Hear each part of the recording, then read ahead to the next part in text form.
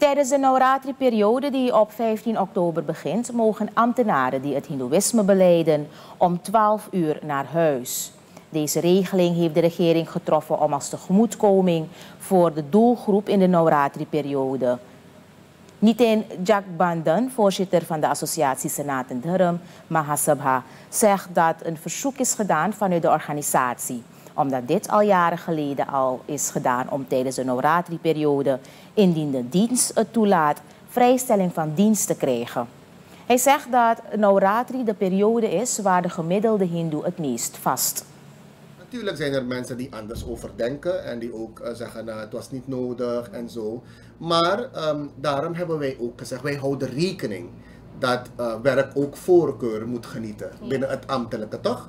En daarom zijn wij redelijk geweest. Om als wij kennen onze verantwoordelijkheid. We zeggen niet van nee, iedereen naar huis. Maar wat gaat gebeuren met het werk van de overheid? Dus wij zijn ons bewust van die verantwoordelijkheid. En daarom hebben wij in die brief gesteld van regering, indien de dienst dat toelaat, dat de mensen eerder naar huis moeten. En waarom zouden ze eerder naar huis moeten gaan? Eén, de Navratri-periode, we um, verrichten de rituelen en alles, het chanten, het mediteren. Eenmaal 24 uur, dag en nacht. En je hebt mensen die ook in de ochtenduren, ja, ook na 12 hun rituelen willen verrichten. Dus daartoe moeten zij zeg maar, die flexibiliteit kunnen hebben, kunnen ervaren vanuit hun werkgever. Jagbandhan benadrukt dat er nog veel meer redenen zijn waarom vrijstelling van dienst de hindoes goed uitkomt in de Navratri-periode. Bij Navratri worden almachtigen in moedervorm vereerd.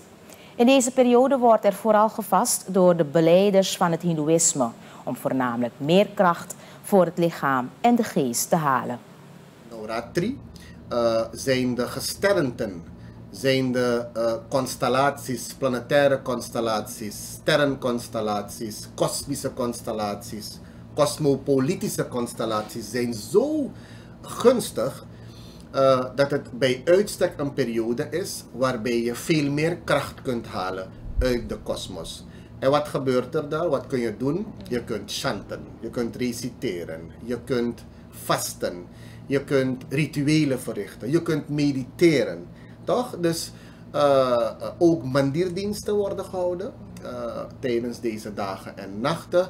En dat allemaal zorgt ervoor dat je zelf kan gaan verheffen. Ja, geestelijk kunt verheffen, lichamelijk kunt verheffen. Alleen maar positief, positiviteit kunt halen uit het geheel. En um, de gemiddelde hindoe, zeker, maar zelfs niet-hindoes, gebruiken deze periode dus dan om uh, uh, zeg maar meer te kunnen halen. En dat, dat allemaal hebben we nodig voor een gezond leven.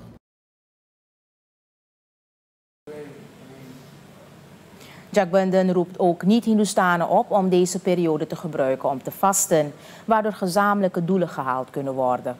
De term no in no ratri staat voor negen en ratri staat voor nachten.